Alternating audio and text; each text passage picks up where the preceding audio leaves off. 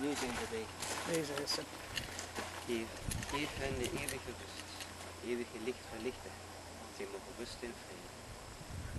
Dank u.